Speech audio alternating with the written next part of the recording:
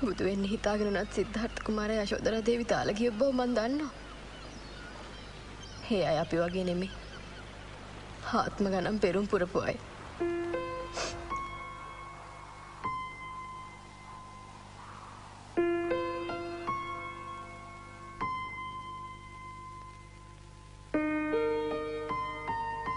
මං ආසයි වෙඩි තියන්න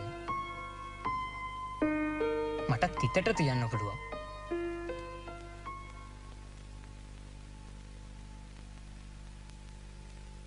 මං ආස නැවවා වෙඩි තියෙනවට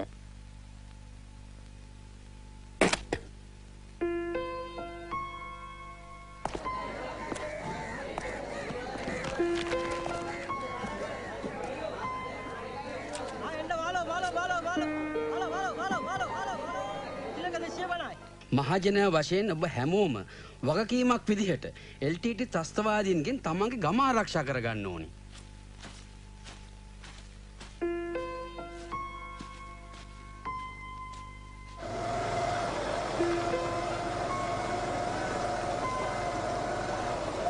இப்ப நான் உங்களுக்கு சொல்ல போறது புத்தகத்தில் இல்லாத ஒரு கதை எங்களுடைய கதை புத்தகத்தில் உள்ளது யாரும் விரும்புவதும் இல்லை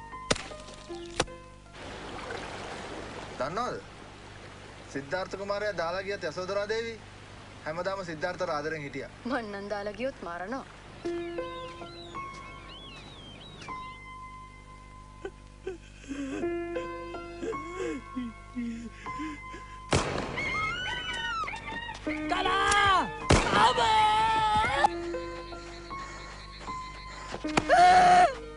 සිද්ධාර්ථ කුමාරයා යසෝදරා දේවිව දාලා ගියාම යසෝදරා දේවි හැඬුවද?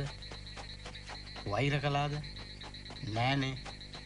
යසෝදරාට තිබ්බ දේවල් මට නෑනේ හාමුදුරුවනි.